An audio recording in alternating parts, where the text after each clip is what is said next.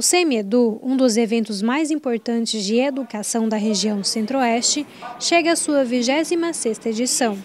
Realizado na UFMT, o tema principal do evento é Diálogos entre Políticas Públicas, Formação de Professores e Educação Básica. O professor José González Monteagudo, da Universidade de Sevilha, na Espanha, foi um dos participantes de uma mesa redonda que ocorreu no auditório do Instituto de Educação. Temos feito a abertura com uma apresentação sobre os desafios da educação intercultural para, o, para os professores do ensino básico, no contexto europeu, com uma forte pressão migratória eh, eh de, eh, que chega muitos eh, alunos às escolas, os professores não têm sido formados para este contexto de diversidade cultural e intercultural, então temos necessidade de ferramentas, de redes, de mais comunicação entre as comunidades inmigrantes, eh, o território e as escolas. Eh, eh, um modo de gerar, de management das instituições mais dinâmico para integração, para uma verdadeira educação cosmopolita, tolerante, aberta aos outros. O SEMEDU começou no dia 4, no domingo, e vai até a quarta-feira, dia 7.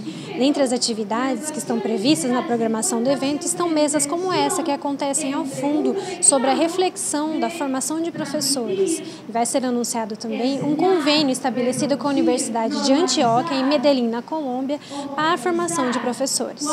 Há pouco logramos firmar um convênio entre a UFMT e a Universidade de Antioquia, que queda em Medellín, Antioquia, Colombia, y es muy importante porque este convenio nos va a permitir el intercambio entre profesores, investigadores y estudiantes, sobre todo de posgrado, para que podamos empezar a hacer distintas actividades juntos, tanto de formación como de investigación.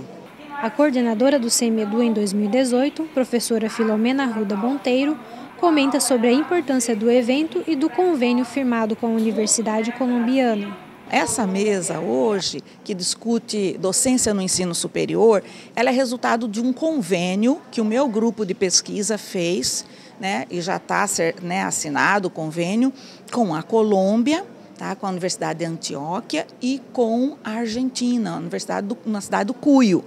Então, nós estamos nos reunindo nessa mesa para começar a trazer as primeiras reflexões desse convênio que foi firmado há pouco. A coordenadora fala ainda da importância da vinda dos palestrantes de outros países para participar do SEMEDU. É muito interessante tê-los aqui, cada um discutindo pesquisas do seu contexto e empenhados também em dialogar conosco para entender as nossas situações educacionais, nossas dificuldades, nossos desafios também no Brasil. Então são pessoas assim que vêm com o intuito de muita parceria, são parceiros não vem impondo modelos, nada disso. Eles vêm no sentido de estabelecer conosco um diálogo e uma parceria.